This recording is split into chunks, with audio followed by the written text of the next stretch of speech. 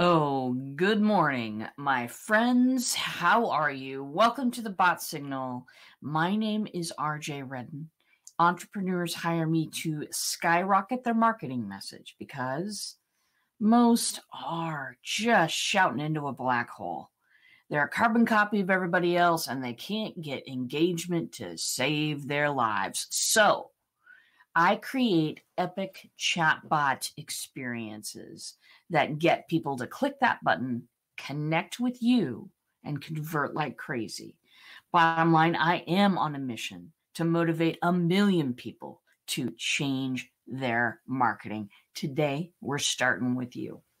So, my friends, good morning, good morning.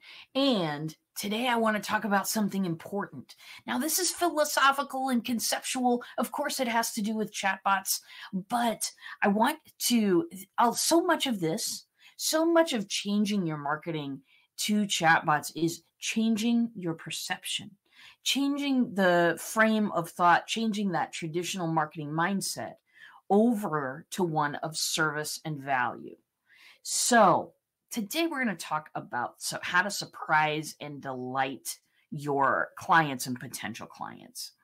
That is that is something that helps you stand out on the crowd if you make someone smile if you cause them to think if you are if you actually you know uh, indicate that you know them instead of making them fill out the same landing page name and email address 78 times or sending them 78 product emails about products they've already bought.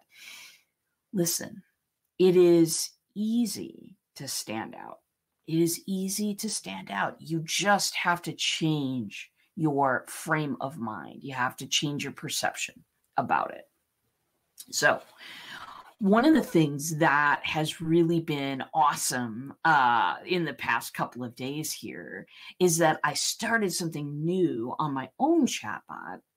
And this is important because surprise and delight factor, right? A couple of days ago, I talked to you about how to follow up, how to follow up with ease and how to follow up in a way that causes people to smile and think about you and think, man, she's got her follow up game awesome. I need to talk to her about some more stuff. And that is, I'm using a little service called Bonjoro.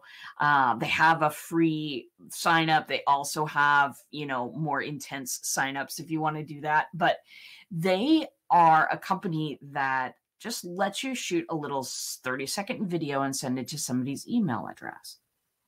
Fantastic. So here's what I've set up in the past couple of days here on my chatbot, and it is working beautifully. And that is this. When I get someone new signing up on my chatbot, and when I say my chatbot, I say, I mean, I have that thing planted in several places. So when someone new signs up, and that is give me eh, what I mean by sign up, I get their first name, last name, phone number, email. What that does is it sends a little message to Bonjoro and it creates a task for me to go ahead and record a little 30 second video, use their name, send it to them. Just for signing up for my chatbot and saying, hey, uh, thank you so much for signing up. I am so pleased to have you, and my intention is that you'll get a ton of value out of this. By the way, if you haven't signed up for community, please do. That is so much different. That is so much different than what we're usually offering we're not usually offering something that is personal. We're not usually offering that type of stuff because we think it'll take too much time or we are just not familiar with using that in a, you know, in a traditional marketing run. I get it. I get it. But if you want to surprise and delight, part of what you need to do is you need to do things a little bit differently. You need to make it so that people are treated personally. And it's really hard to do with traditional marketing. It's real hard to do with traditional marketing because that is meant to, that is designed to catch as many people as you can and have them trickle back to you. Okay. Unfortunately, it's totally alienating.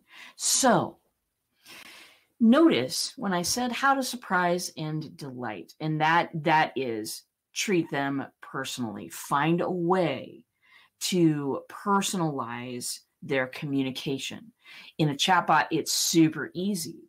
Really, all you need to do is, you know, the the what I just explained there. That's a good one. Another one is to recognize them when they come back to your bot. Have personality in your bot. Have some character there. Make it somebody that they're kind of, you know, uh, waiting to hear from. That is all. That is all good stuff there's a there's actually kind of a ton of ways to surprise and delight your clients now that I think about it in a chatbot. Um, so I want to get to this next point though because it's very important. I want you to notice that what I did not say is create more content or give away more for free. I did not say those things. I did not say how to surprise and delight is give away more for free, which, if you're a coach, uh, you know that you're tempted to do that sometimes. Oh well, let's just lower the prices and see what happens. It's the it's it's a tough road because that road doesn't tend to end for most people until they've needed to find other work. Um, so I didn't say create more content either.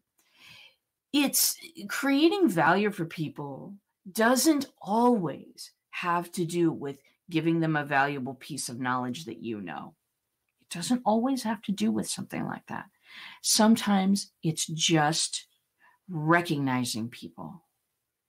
For so long, we feel like we're shouting into a black hole. And when someone recognizes you, when people come to your site, whether it's a chatbot landing page or something else, and your bot recognizes that person, which I teach my bots to do. If we've already got your basic information, if we've already got some stuff on you, what we'll do then is train the bot to say, hey, you came you, you last week you uh, signed up for my challenge. I'm so happy that you did that. Um, thank you karen for doing that. And how you know how are you getting along with that so far? Instead of hi we've got a new webinar. Sign up for my stuff.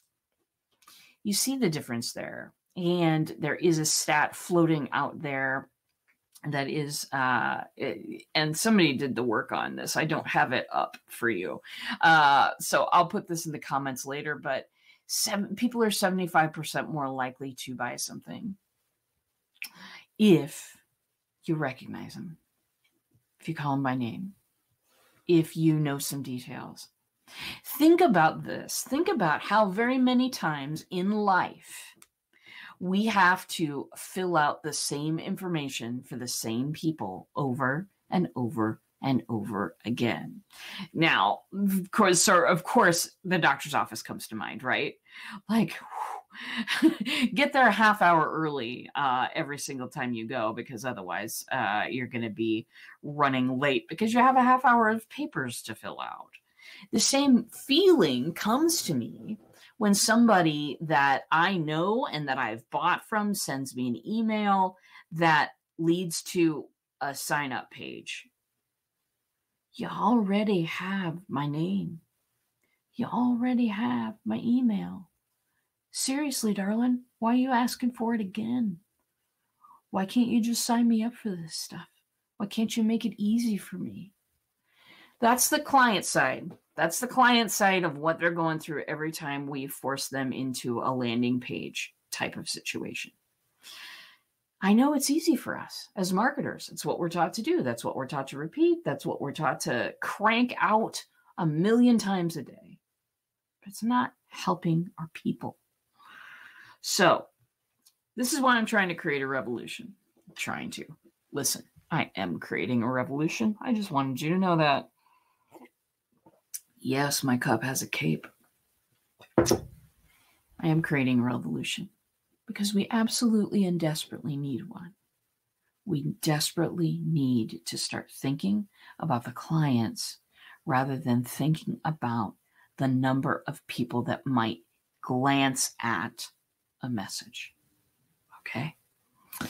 If you want help doing that, you know that I provide such things. Please do text bot to 555 if you want to get a free bot strategy and also chat with me for a half an hour because that that option is available. We can chat about that bot strategy. We can chat about just basic bots and what do they do. We can talk about the March 5th changes that are coming to Facebook. March 4th. Sorry. You'd think I'd have that date memorized. Anyway, thank you for stopping by today. You know I love you, and I'm so happy to be in your in your area of influence today. That's all I've got for today. I will be back tomorrow because tomorrow's Friday. And until then, I will see you in a bot.